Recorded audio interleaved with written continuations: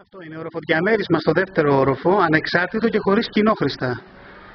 Έχει πλήρη επίπλωση, δύο δωμάτια. Με το που μπαίνουμε είναι το μπάνιο του και η κουζίνα. Έχει και πλυντήριο, έχει και ψυγείο. Πολύ ωραία επιπλωμένο. Καλό, ο ίδιος ο ιδιοκτήτης μένει εδώ.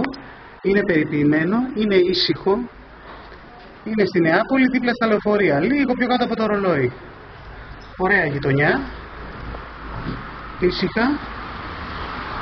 Ο ήλιος τον βλέπει όλη μέρα. Ο ήλιος τώρα είναι εδώ και η ώρα είναι 8.30. Ένα δωμάτιο. Κλείνει και από εδώ η πόρτα και το δεύτερο δωμάτιο από εδώ, το οποίο είναι μικρούλι, αλλά χωράει ένα κρεβάτι, σαλόνι. Έχει air condition, έχει φυσικό αέριο.